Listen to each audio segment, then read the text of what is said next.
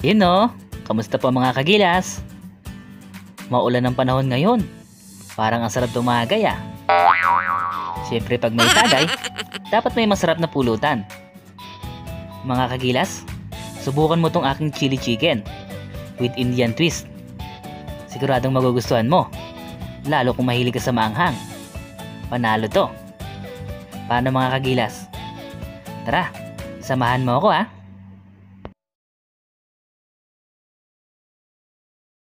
Mga tatay na magilas, ready na yung ating manok.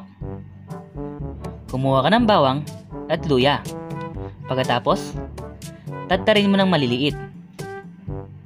Hihiwain na natin ito ng maliliit at ilagay natin sa blender.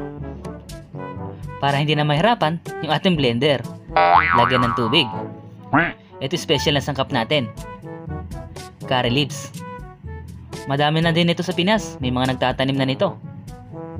Sana lang makakita ka. Gagawin natin itong paste. Pag, na, pag nadurog na, ilagay na natin sa manok. Ngayon mga kagilas, titimplahan naman natin. Lagyan ng chili powder, turmeric, garam masala, at konting asin. Maglalagay din pala tayo ng yogurt. Meron din tayong isang pirasong lemon. Pigaan natin. Alam niya mga kagilas kung Indiano ang gagawa nito.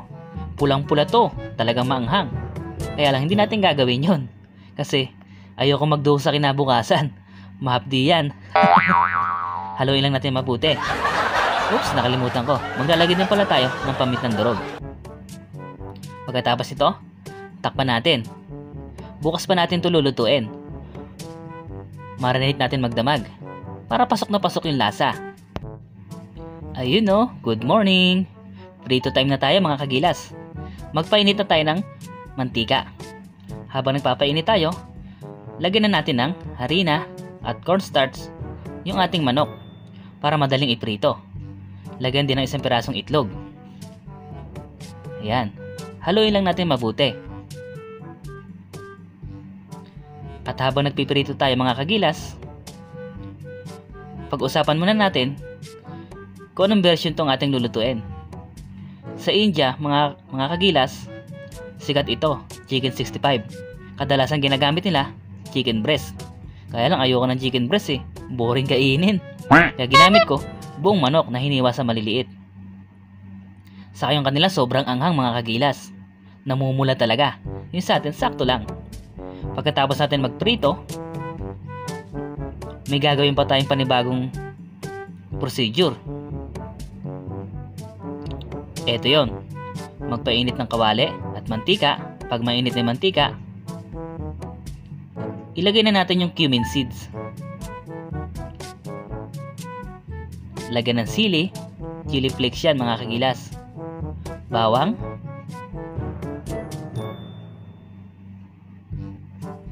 at luya. Sinamahan ko na rin ng green chili.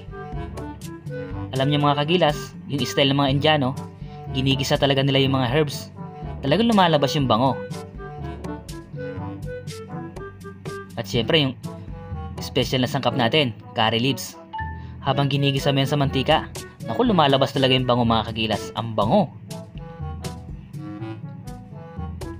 Ngayon timplahan na natin.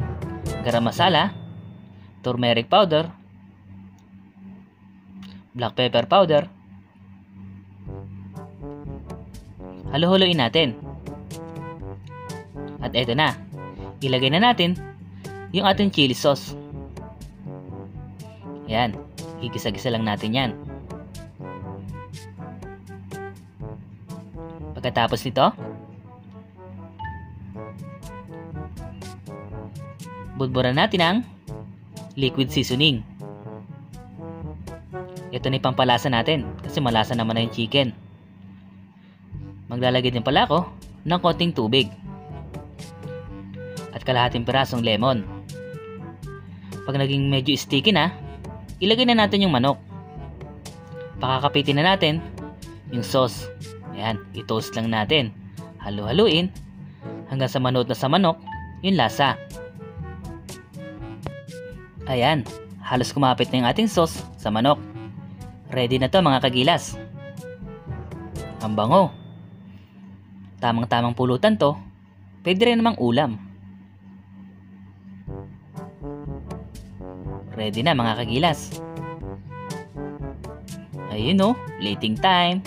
Alam niyo mga kagilas, iniisip ko kung bibe, or itik, o kaya pabo, mas masarap siguro no? Ang sarap. Di bale, pag nauwi tayo ng Pinas, gagawa ako ng ganung version. Okay, plating na natin mga kagilas. Para matikman na. Yun no, may dahon pa oh. Sarap. Mmm, ang bango. What? Waiter, What the fuck? isang bucket nga ng beer. Will you keep quiet? Dagdagan mo na rin ng isang Sunmig Light. Yung may tissue sa ibabaw, ha? Ako mga kagilas, ha? Huwag na kayong babalik doon. Dito na lang tayo sa bahay tumagay. Meron na tayong masarap na pulutan. Hmm, ang bango. Siyempre, titikman natin. Kay Kagilas, ang unang kagat. Hmm. Nagmamantika pa. Tikman natin. Hmm. Hmm, sakto lang. Panulak.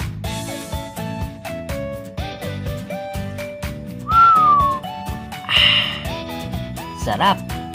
Champion mga kagilas. Gawa rin kayo ha. Thanks for watching.